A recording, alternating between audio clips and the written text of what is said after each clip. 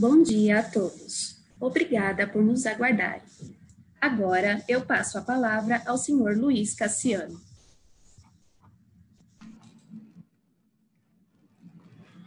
Bom dia, senhoras e senhores. Muito obrigado por participar da conferência de resultados do terceiro trimestre de 2020 da Home. Esse terceiro trimestre consolidou uma sólida e intensa recuperação do mercado doméstico. Além disso, o mercado externo também começou a dar os primeiros sinais de recuperação. Os destaques, além da evolução de margens, foram a entrada de pedidos e a receita líquida das unidades de máquinas home e de fundidos usinados. Na unidade de máquinas home, a entrada de pedidos foi muito positiva, mostrando um cenário de recuperação da indústria nacional. Sem dúvida, uma taxa de juros baixa e um câmbio favorável está trazendo um ambiente para os nossos clientes com mais competitividade e muito investimento em produtividade. A unidade de máquinas home com as novas gerações de produtos, está capturando essas oportunidades e isso já refletiu no crescimento da receita e na entrada de pedidos. Na unidade de fundidos e usinados, continuamos com uma entrada de pedidos forte. Agora, além do segmento de peças pesadas, também os demais setores. Melhoramos a rentabilidade no trimestre e destacamos que o mercado está retomando de forma sólida desde o final do segundo trimestre. A nossa operação na Alemanha, a unidade de negócio Burkhardt Weber, eh, nós estamos com a carteira de pedidos mais concentradas para entrega no quarto trimestre. O nosso desafio continua a ser incrementar a carteira de pedidos para 2021 em um ambiente de mercado internacional ainda volátil. Entretanto, a melhora das perspectivas para o mercado asiático, principalmente China, já estão se consolidando e projetos importantes para 2021 estão em fase final de negociação. Com a pandemia, o nosso principal objetivo em 2020 continua a ser proteger nosso principal ativo, o time Home, suas famílias, nossos parceiros de negócios. Nós continuamos com uma série de medidas restritivas e Assim, continuamos operando e atendendo o nosso cliente com excelência. Agradeço novamente a todo o time Home que, com muita intensidade, cooperação e capacidade de reação, está conseguindo entregar um resultado importante em 2020. Agora, eu gostaria de passar a palavra para o Fábio, que irá detalhar os nossos resultados do terceiro trimestre. Bem-vindo, Fábio. Obrigado, Cassiano. Primeiramente, bom dia a todos. Muito obrigado por participarem da, da web conference do relativo ao terceiro trimestre de 2020. Então, iniciando aqui a nossa apresentação, sempre pelos destaques. O principal destaque do trimestre foi a entrada de pedidos, alcançou 313 milhões de reais, um crescimento de 65,5% em relação ao terceiro trimestre de 2019. Esse resultado foi alcançado principalmente decorrente do incremento de pedidos de máquinas home, que superou 100%, e principalmente uh, da retomada dos investimentos no mercado doméstico, como o Cassiano já comentou, um ambiente mais favorável para a retomada dos investimentos, com taxa de juros mais baixa, um câmbio favorável à competitividade da indústria nacional né, e uma inflação ainda dentro é, de um certo patamar é, que estimula o investimento. E, adicionalmente, fundidos usinados, que nesse trimestre, além das peças fundidas de grande porte, que já vinham desde o segundo trimestre de 2019 é, apresentando evolução, a gente vê também a retomada dos demais segmentos dessa unidade de negócio, tais como a parte de caminhões e ônibus, a parte de máquinas agrícolas e, por fim, também a linha amarela. Mais especificamente da unidade de fundidos usinados, nesse terceiro trimestre, nós tivemos um crescimento de 74,9% na receita operacional líquida em relação ao terceiro trimestre de 19, principalmente impulsionado pelas peças de grande porte para o setor de energia. A maior receita né, o maior volume de produção, é bastante capital intensivo. Né? melhoria da eficiência operacional né, e o mix de produto, aliado ao controle bastante é, próximo das despesas operacionais, permitiram que a gente tivesse uma expansão da margem operacional bastante significativa nessa unidade, de 10,1 pontos percentuais. Na unidade de máquinas home, a receita também apresentou um crescimento de 12,4% nesse trimestre em relação ao terceiro trimestre de 2019, decorrente da retomada dos pedidos para o mercado doméstico. Esse incremento da receita, né, um controle rígido das despesas operacionais, né, permitiram que a gente tivesse uma expansão também bastante significativa da, da margem operacional dessa unidade de negócio, que cresceu 6,3 pontos percentuais. Voltando um pouco para a entrada de pedidos, máquinas home nesse terceiro trimestre apresentou um crescimento de 140,3% em relação ao terceiro trimestre de 2019, fruto da retomada, principalmente a partir de junho desse ano, dos investimentos no mercado doméstico. O mercado externo ainda está um pouco é, mais lenta a retomada, uh, porém no mercado doméstico, de fato, a gente vê uh, essa retomada mais é, rápida e mais consistente. Né? E, adicionalmente, é como o Cassiano já comentou, as novas linhas de produto que a gente lançou nos últimos anos estão fazendo um grande sucesso é, para os nossos clientes. E, adicionalmente, nós lançamos novas alternativas de negócio, como, por exemplo, no segundo trimestre, lançou a locação de máquinas, que também está dentro é, das expectativas que a gente desenhou no lançamento dessa nova solução. No segmento de fundidos usinados, falando da entrada de pedidos, o terceiro trimestre de 20 continuou muito é, forte a entrada de pedidos, né, um crescimento de quase 41% em relação ao terceiro trimestre de 19, que já vinha é, tendo um, um, crescimento é, em relação a, aos, aos períodos anteriores, mas assim mesmo a gente continuou é, apresentando crescimento, e aí vem tanto da, da, das peças de grande porte é, e também da retomada dos segmentos, dos demais segmentos, como eu já falei, caminhões, máquinas agrícolas e linha amarela. E por fim, é, essa maior entrada de pedidos resultou numa carteira de pedidos ao final de setembro desse ano 41% é, acima do, de 30 de setembro de 2019. Aqui, com destaque para máquinas home fundidos usinados, até porque foram os que é, apresentaram crescimento na entrada de pedidos. Né? E aí a gente termina, então, com uma carteira também bastante robusta é, para um olhar mais prospectivo. Em termos de índices macroeconômicos, é, aqui o último que tem em termos de PIB, PIB industrial, formação bruta de capital fixo, é o segundo trimestre de 2020. É um trimestre, claro, marcado pela pandemia. Nós também sofremos muito, no, principalmente segunda quinzena de março, abril e maio. Né? Então, obviamente, essa queda se é, é, nós também sentimos naqueles praticamente dois, três meses. Né? Mas, de qualquer maneira, eu acho importante aqui até olhando no próximo slide, é, o, o, a partir de junho é, começaram a voltar os pedidos no mercado doméstico e a gente viu, é, principalmente em máquinas home, é, uma retomada bastante sólida. Né? Isso muito olhando aqui os índices, outros índices macro, né? A gente vê aqui em abril muitas fábricas pararam, então a utilização de capacidade instalada caiu muito drasticamente naquele mês, mas a gente vê uma retomada mês a mês da indústria, né, voltando aí em agosto é, a níveis históricos.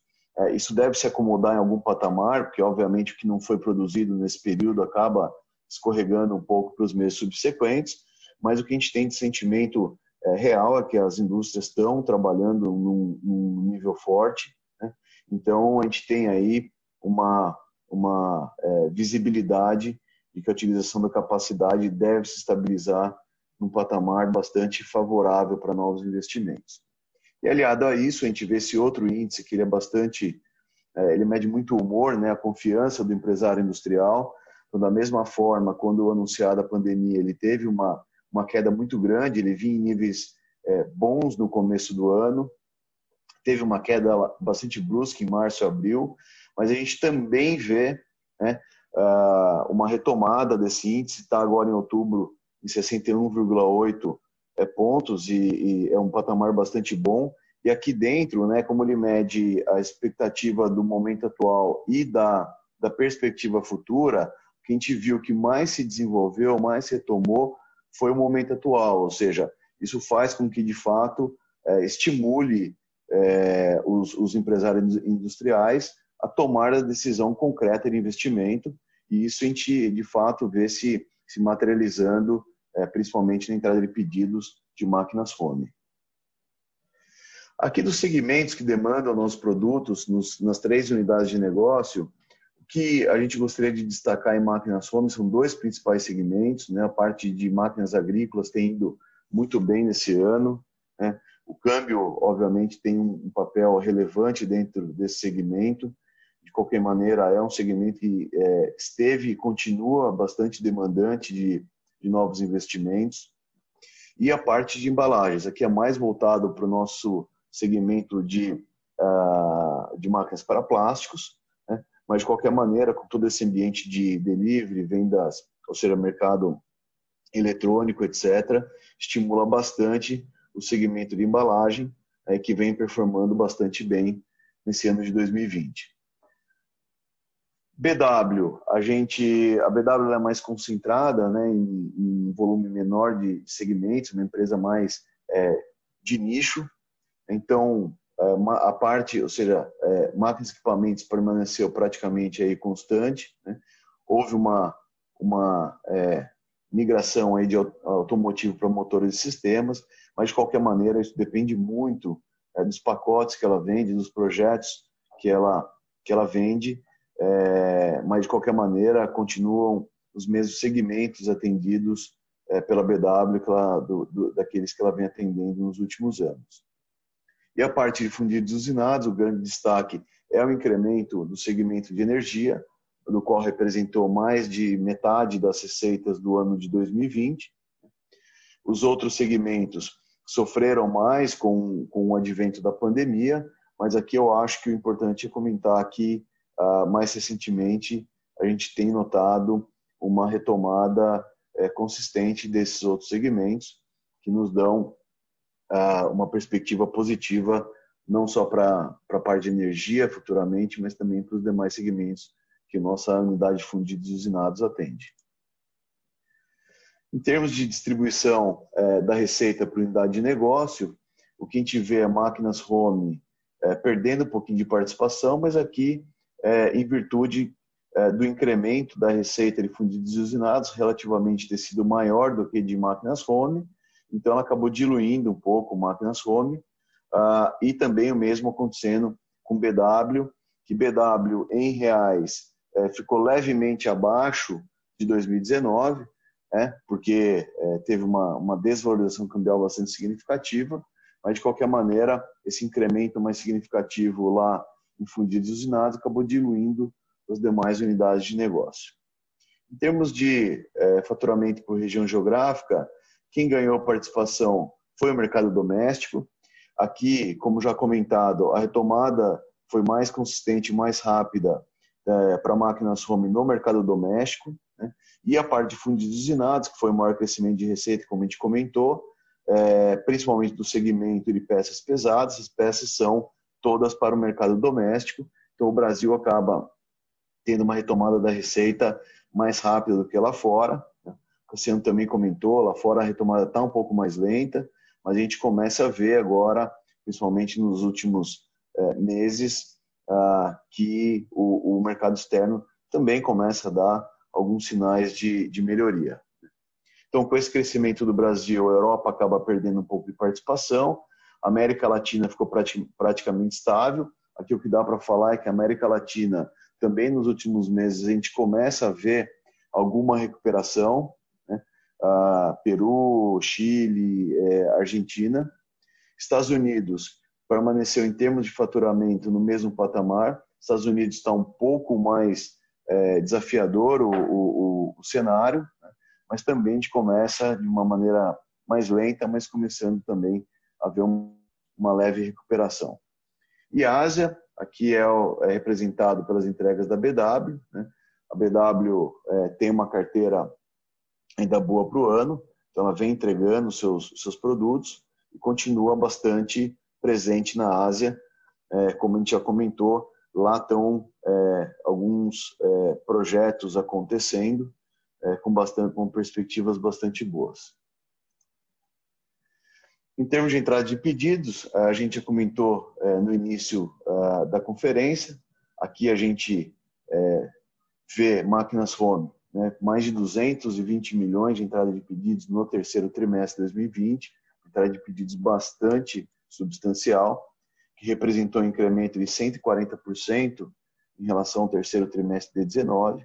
Isso vem da retomada realmente dos, dos investimentos no mercado doméstico, né?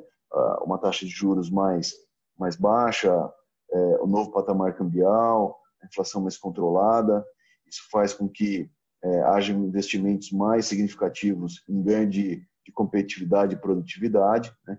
E a gente está bem posicionado com novas linhas de produtos que a gente lançou nos últimos dois, três anos e tamo, estamos aproveitando as oportunidades que o mercado está nos oferecendo. E nos nove meses acumulados, o crescimento também é bastante substancial, é 49,6% em relação ao acumulado dos nove meses de 2019, e aí, de novo, representado é, pelo mercado doméstico. A BW, ah, houve uma redução na entrada de pedidos, mas aqui eu acho que é importante a gente olhar um pouco para frente, né? principalmente os projetos vindos da Ásia, dentro da Ásia, principalmente China, a gente já vê uma evolução do estágio das negociações, né? E ali também nós estamos participando de diversos projetos que devem se maturar aí ao longo dos próximos meses, para que a gente possa é, alimentar a carteira de pedidos para as entregas do ano de 2021. E fundidos e usinados já tinha sido uma entrada de pedidos é, boa, significativa no terceiro trimestre de 19. Mesmo assim, a gente viu um crescimento de quase 41% nesse terceiro trimestre.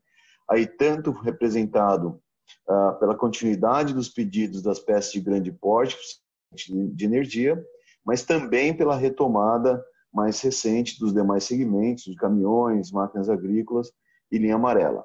E no ano também um incremento bastante importante de segmento de fundidos, ou seja, trouxe 45% de, a mais de pedidos do que no mesmo período de 2019. E por fim, então, a entrada de pedidos do terceiro trimestre superou o terceiro trimestre de 2019 em 65,5%, no ano 23,2%.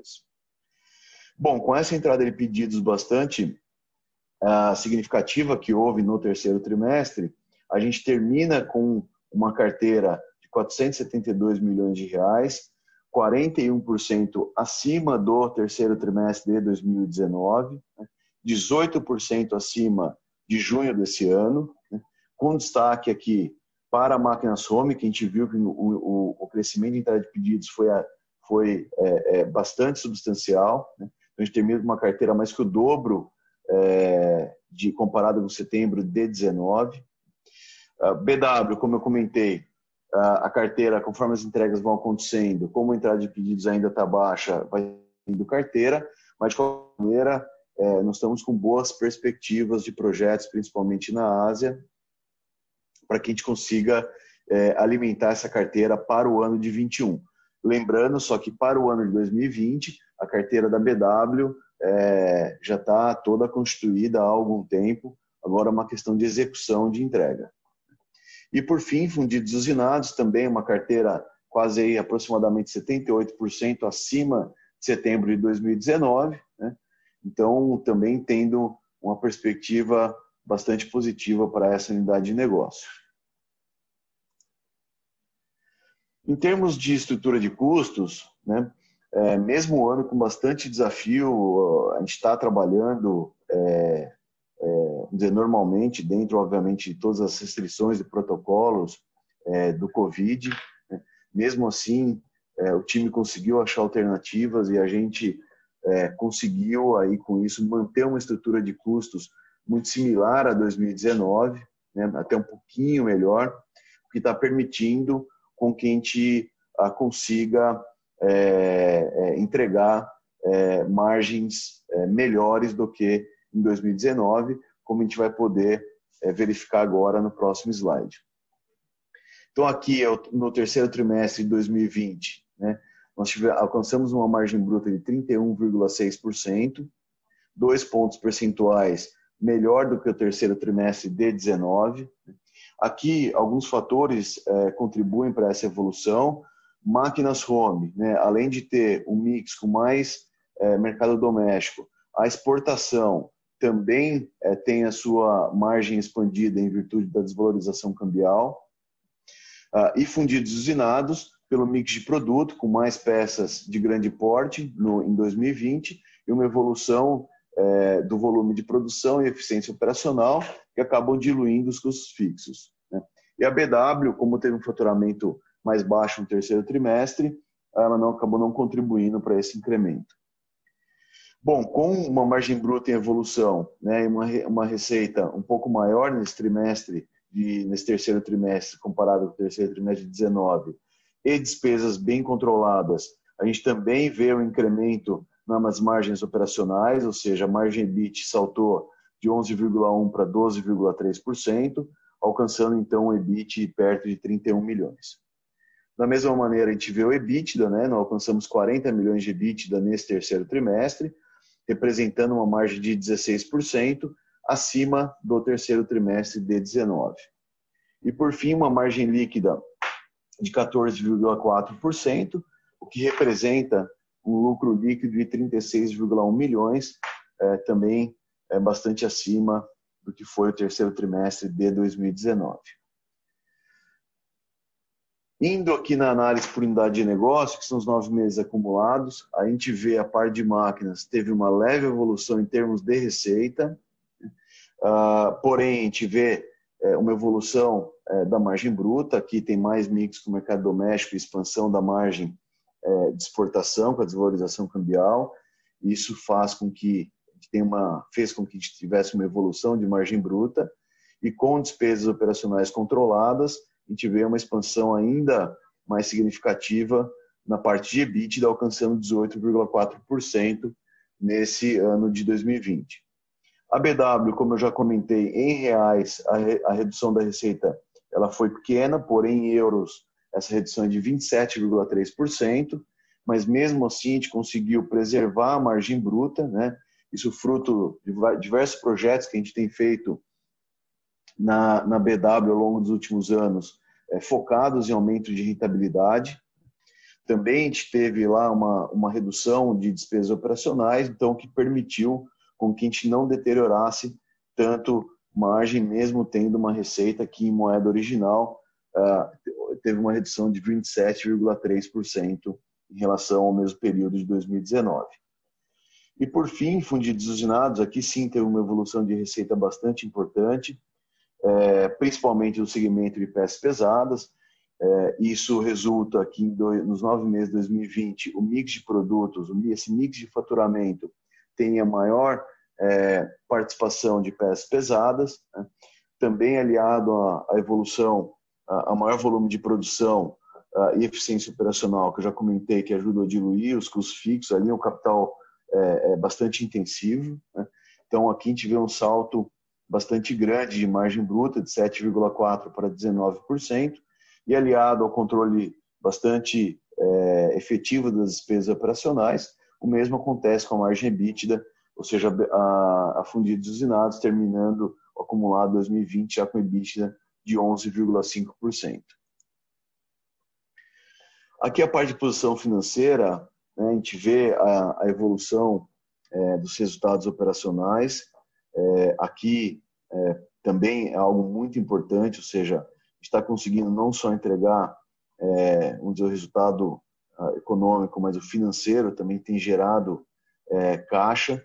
Nesse terceiro trimestre, nós geramos um caixa bastante importante, ou seja, com, saímos de uma dívida líquida de 28,5 milhões para um caixa líquido de 26,2 milhões. Né? É, a própria evolução das margens contribuiu muito para essa melhoria é, da, da, geração de caixa, aliado é, àquela capacidade de reação que o Cassiano comentou, cada vez a gente tem ficado mais ágil para reduzir, para reagir às oscilações de mercado. Né? e fazer com que a gente possa né, frear e acelerar com maior eficiência na parte de capital de giro. Então, a gente terminou o trimestre com uma posição financeira bastante robusta da companhia, caixa líquido de 26 milhões, um caixa de 196,6 milhões, é, dívida de 166,4 milhões, temos pouca dívida ainda para pagar em 2020, né? Ah, e estamos então com, uma, com um caixa bastante robusto para fazer frente a essas obrigações. Em termos de é, performance da ação, né, nos últimos dois anos a performance foi bastante acima é, do Ibovespa. É, eu creio que né, a melhoria dos resultados operacionais, é, aliado a uma geração de caixa consistente, os níveis de inadimplência aproveitando estão bem controlados, mesmo diante do ambiente de pandemia, né, tem gerado consistentemente caixa. É, e agora também é, a gente vem de uma, uma retomada, é, principalmente no mercado doméstico, mais consistente. Né? Tudo isso tem feito com que a ação tenha tido uma, uma performance acima do, do índice. Bom, com isso, eu, a gente finaliza a apresentação da conferência relativa ao terceiro, aos resultados do terceiro trimestre de 2020. Novamente agradecer a presença é, de todos e a gente fica à disposição agora para responder as perguntas dos senhores e senhoras. Muito obrigado a todos.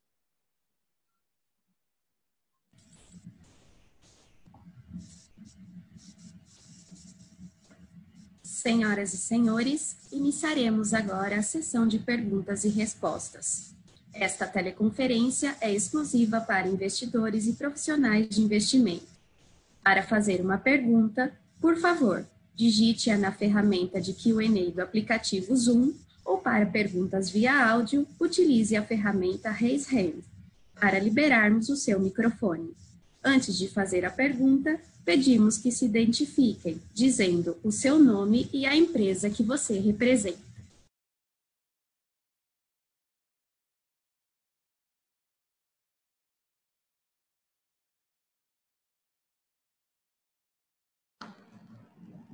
Nós é, temos uma pergunta do Tiago Gomes, é, ele é investidor pessoa física. Eu vou dividir a pergunta em dois e já vou respondendo. Então, a, a pergunta é: a receita operacional líquida cresceu para máquinas home e fundidos usinados, porém foi bastante pressionada pela variação negativa de 48% de máquinas BW, mesma dinâmica observada no trimestre anterior.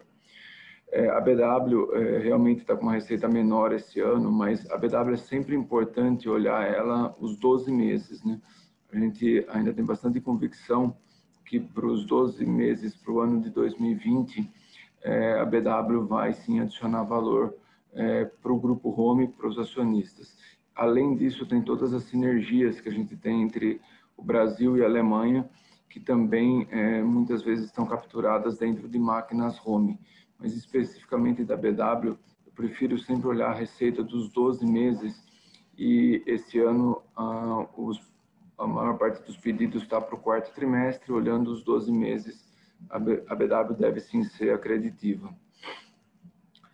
Ah, o crescimento de receita, ah, como mencionado, de máquinas home fundidos usinados, eh, foi bastante eh, demandado pelo mercado doméstico, né, e esse sim tá, é, voltou de maneira bastante sólida. A segunda parte da pergunta do Tiago, então eu vou, vou ler. Na carteira de pedidos, embora a BW tenha mostrado alguma recuperação se comparado com o trimestre anterior, ainda se vê essa linha de negócio bastante pressionada com demora na recuperação.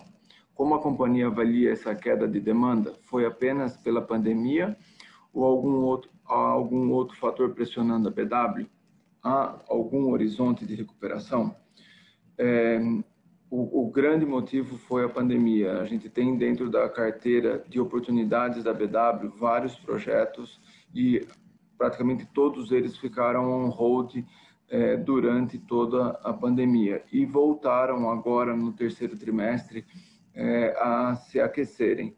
Tanto que a gente, como o Fábio mencionou e eu mencionei também, a gente tem uma boa uh, confiança que agora no quarto trimestre alguns projetos que estão mais quentes, principalmente na China, eh, vão se tornar pedidos. Claro, é uma, uma, uma, briga contra a concorrência, mas a gente acha que está muito bem posicionado para levar alguns desses projetos e já começar a, a, a normalizar a carteira do, da BW para 2021.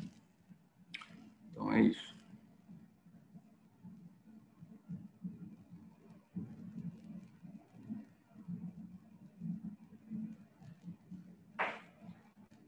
Bom, eu é, tenho aqui do Roberto, da 41 Investimentos, é, justamente uma pergunta sobre o mesmo assunto. Vocês citaram que estão com projetos importantes em fase final de negociação. Poderiam nos dar uma noção da magnitude financeira desses projetos e do setor?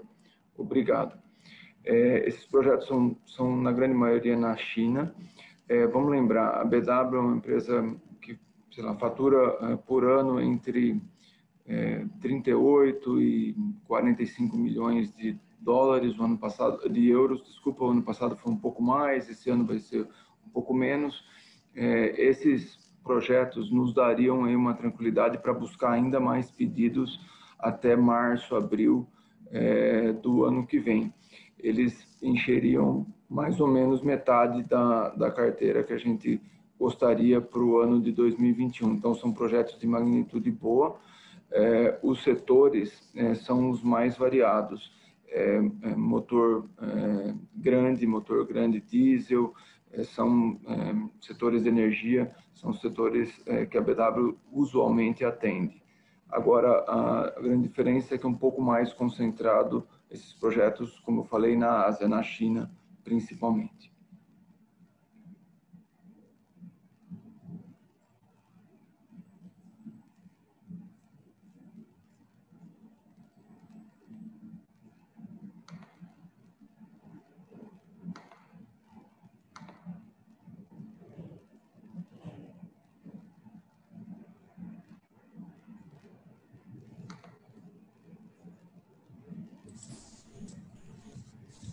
Com licença.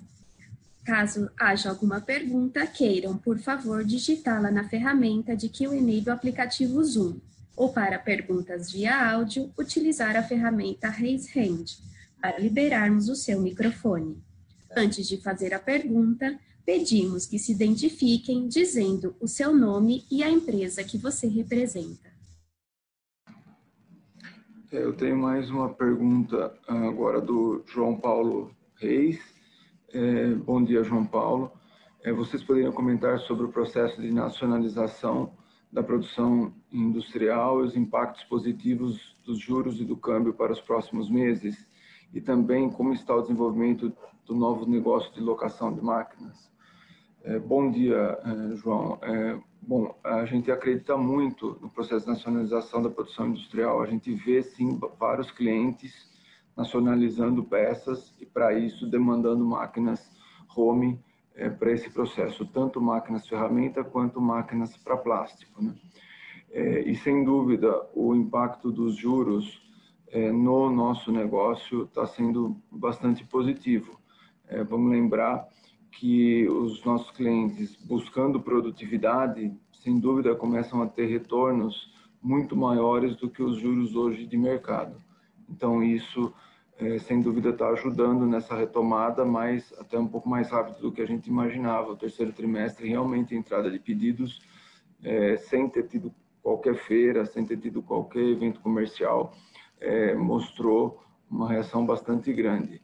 É, o câmbio, da mesma forma, dá competitividade para os nossos clientes e isso faz com que eles se destacam. Né? E a segunda parte da pergunta, né, como está o desenvolvimento do novo negócio de locação de máquinas está indo bastante bem. A gente até no release coloca é, o, o, incremento de capex é, decorrente de, de locação. Ele é o grande motivo do incremento de capex. Então a gente está conseguindo sim entregar as máquinas em locação. É, toda a conectividade das máquinas está funcionando muito bem. É, enfim, a gente está conseguindo é, transformar é, do papel para a realidade esse negócio e a gente acha que a execução de margens para esse negócio também está dentro da nossa expectativa. É, esse negócio deve continuar crescendo dentro é, da Home e eu acredito muito nesse modelo é, para os próximos anos. Nós temos uma segunda questão do Roberto Teixeira, é, é, da 41 é, Investimentos.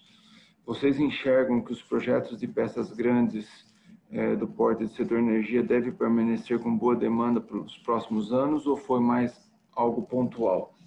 É, é bastante difícil é, responder essa pergunta, vai depender, claro, da dinâmica do país. Se o país estiver crescendo, se o país estiver precisando de energia, sem dúvida, a, pra, a parte de eh, energia eólica, que é o, setor que demanda essas peças de energia de grande porte, é, é um setor que é bastante competitivo no nosso país em termos de custo de energia. Então, ele tende sim a ter uma boa demanda para os próximos anos se a gente tiver é, um, um, bom PIB é, nos próximos anos de maneira consistente. Claro que para 2021 a gente está bastante otimista, porque tem bastante oportunidade para entregar. Para os próximos anos vai ser a dinâmica dos leilões, é, dinâmica do mercado livre também, que é um mercado que vem demandando bastante de, de, de torres eólicas.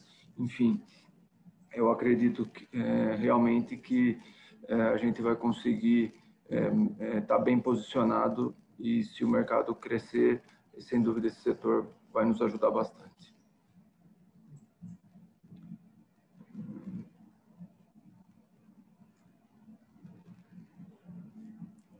Fábio, tem uma pergunta do Tiago Lino. Você pega ela, por favor?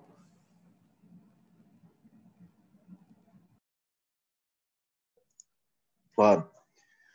Uma pergunta do Tiago Lino, investidor pessoa física.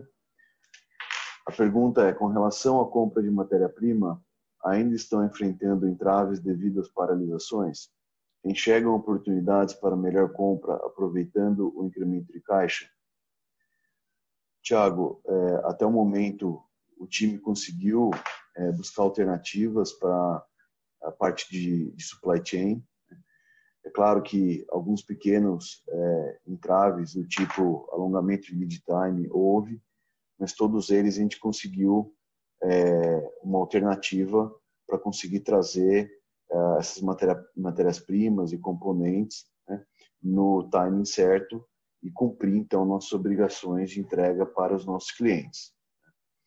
Então, assim, até o presente momento, a gente não, não, teve nenhum impacto significativo em relação à paralisação é, de fornecedores.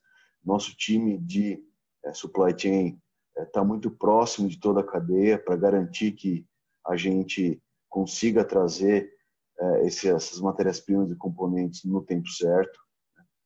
E, por fim, é, a parte de compra, é claro que a gente, é, com um pouco mais de, de, de disponibilidade, é, pode trabalhar alguma coisa em termos de é, alguma eventual compra por um, por um período mais longo um pouco, mas, de fato, eu não acredito que isso seja significativo. Né? É, alguns alguns componentes ou algumas matérias-primas mais ligadas a parte de, de metais, né, chapas, é, sucata, ferrugura, tem tido um pouco mais de pressão inflacionária, talvez aí tenha alguma oportunidade, mas de fato não vejo nada tão significativo nesse aspecto. Eu acho que o mais importante nesse caso aqui, a gente garantir que essas matérias-primas e componentes estejam aqui dentro da home no tempo certo, para que a gente então não atrase as entregas que a gente se comprometeu com os nossos clientes.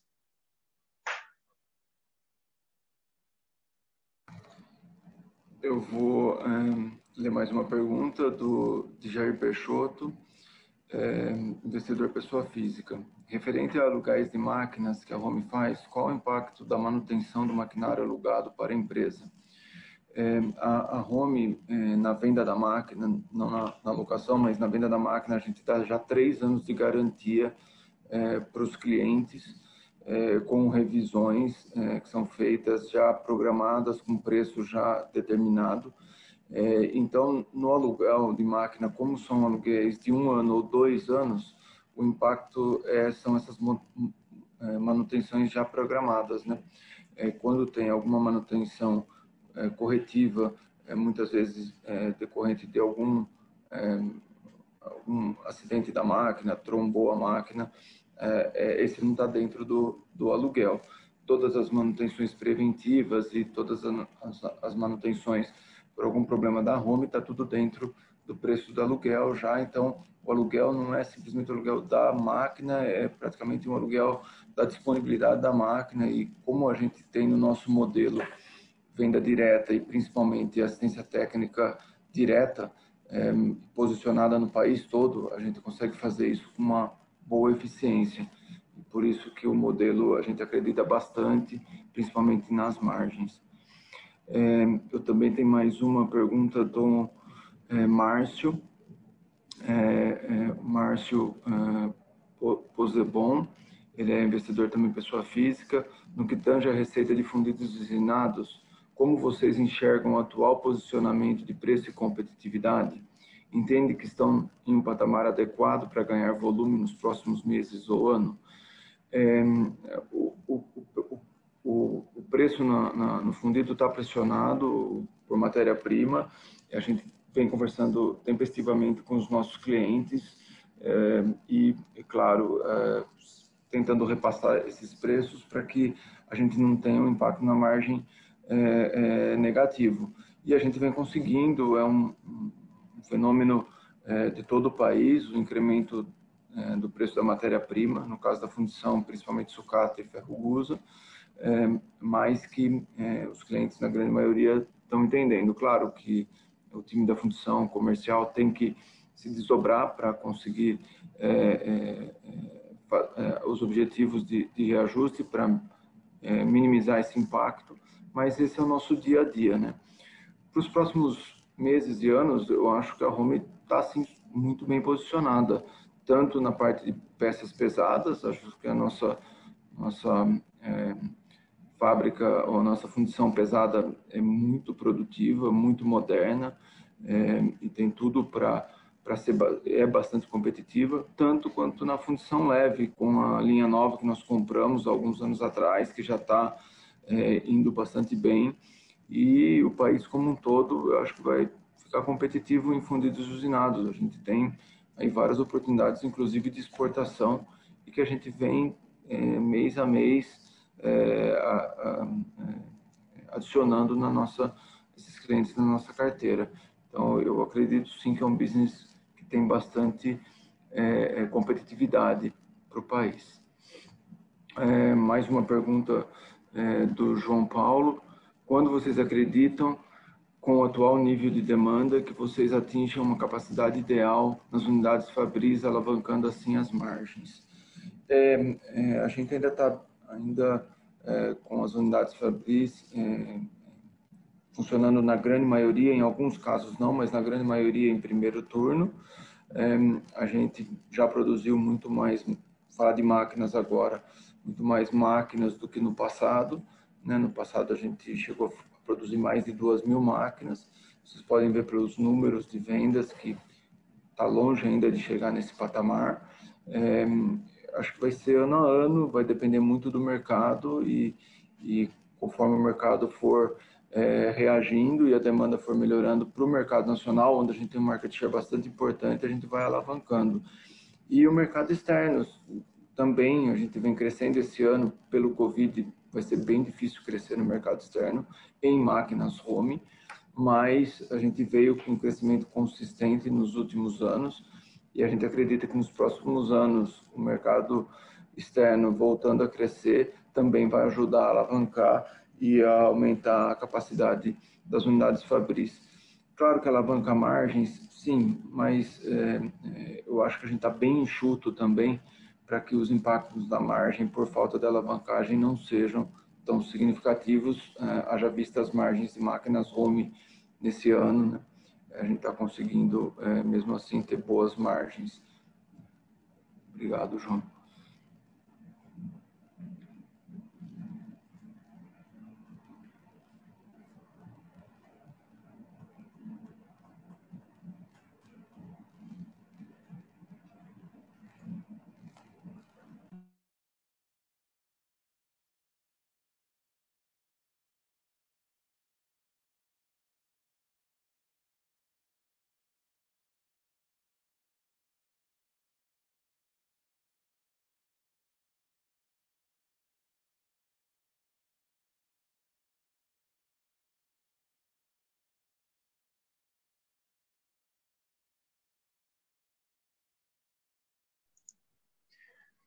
Temos mais uma pergunta, uh, vinda do Roberto Teixeira Cleto, 41 Investimentos.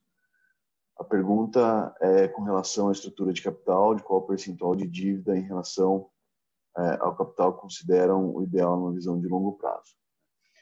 O que a gente sempre teve uh, como filosofia, até como preservação da, da perenidade da companhia, é que o segmento que a gente atua, bem de capital, é, ele é muito sensível ao ambiente macroeconômico. Né?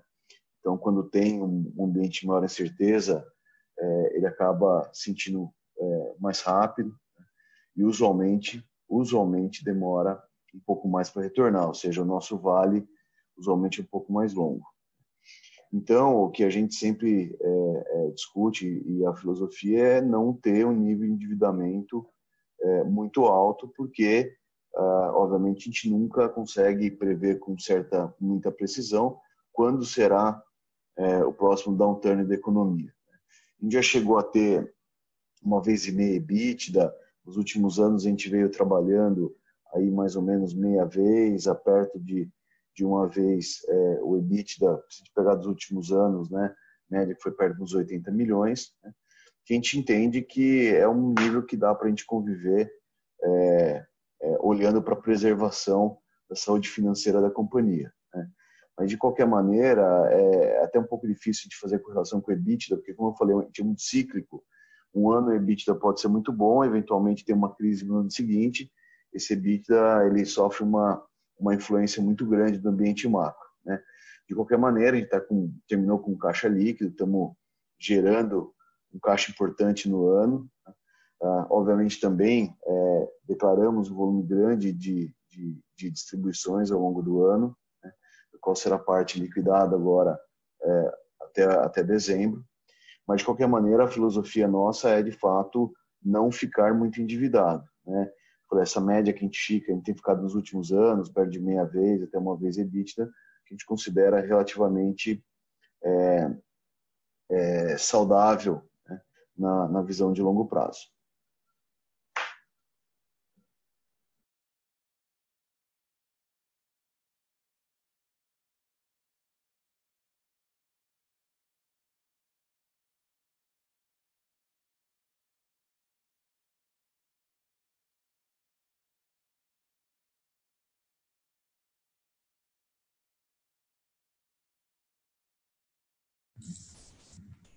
Com licença, como não há mais perguntas, eu gostaria de passar a palavra ao Sr. Luiz Cassiano para as considerações finais. Lembrando que o Departamento de Relações com Investidores da Home está à disposição para responder às demais dúvidas e questões. Por favor, Sr. Luiz Cassiano.